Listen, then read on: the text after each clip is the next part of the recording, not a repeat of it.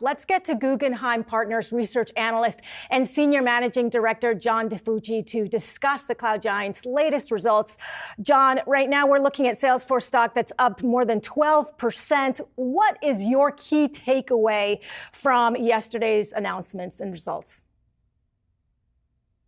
Key takeaway is Salesforce is doing something that they always could have done, but they chose not to. There's nothing in this model that would preclude Salesforce from seeing the kind of profit you'd expect from a company of this scale.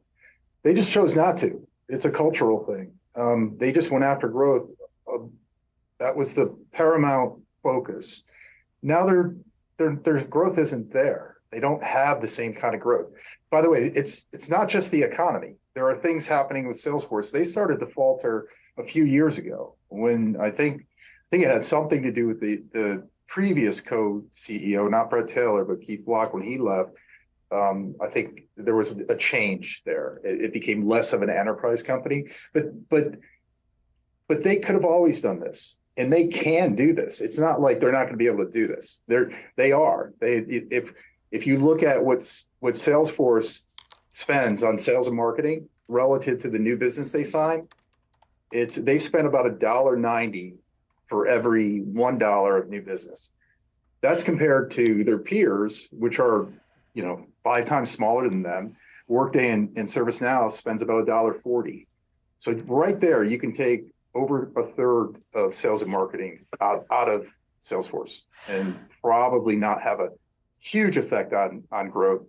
Um, it'll have some effect on uh, John, you mentioned uh, Keith Block, who used to be co-CEO of Salesforce. We want to show you a chart, actually, of some of the uh, high-level executives who have left Salesforce. Keith Block, uh, Bret Taylor, uh, co-CEO, uh, also Stewart Butterfield, founder of Slack. We so if just looking at this chart and also um, paying attention to what Benioff said when he spoke to Brian Sozzi about a succession in place, who do you think? Could be inside the company that could be a successor to Mark Benioff?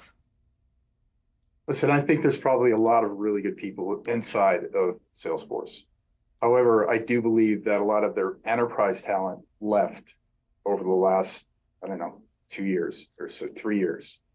Um, they still can sell really well to the mid market. Like um, Brian Millham is a is a good sales leader. He really is, and he's great at the mid market. He's very metrics driven, um, and I have a lot of respect for him. I don't know him personally, but I have a lot of respect for him. They don't really have a lot of enterprise leadership, and I'm not sure who's there that can do that. Um, and that takes a different skill set. That might they might have to bring someone else in from the outside for that. Uh, one of the activist investors, uh, Elliott, uh, who Elliott, who put out a statement last night, uh, basically talking about the changes and uh, also saying that Salesforce needs a sustainable leadership plan and a board that demonstrates it can provide accountability through proper oversight. Not all the activist investors, though, put out statements after this print uh, was released. So. I guess my question is do you think that what was announced yesterday was uh, enough to sort of appease the activists' concerns? So uh, I, I, saw what Elliott put out. I, I, think a lot of what Salesforce and talking to the company last night, a lot of what they announced was in the works before all this activist involvement became real. Um, I but I do think that the activist involvement certainly encourages that. Um, the one thing I think, if you take a step back and you say, okay, listen, they are doing all the things they should do. Okay, what's happened to the stock? Well, the stock was up 30% off the bottom when this started to happen, right? The layoffs, the activist involvement, it's up 30% off the bottom. It's up over 10% today on the back of these announcements, which were coming, hopefully, and they came. So now it trades at about six times next 12 months recurring revenue. And we look at something like a SaaS company like this, and 5.4 times is what we say is the current recurring revenue is worth. Now they have to grow it to be worth more. The only reason we're on the sidelines, we have a neutral on the stock, is because we're kicking ourselves for not upgrading it at a, at $130, dollars mm-hmm. but it's hard to upgrade it here. It really is. I mean, it, this is this is a good company. It's a great company. Like Mark said, he's built a great company. Oh, by the way, he has enterprise talent. But you're asking like who who can be a successor? Mm-hmm. Like Mark could sell big deal. Look at it. He was selling. He was even selling Brian, who, who was hard to sell there.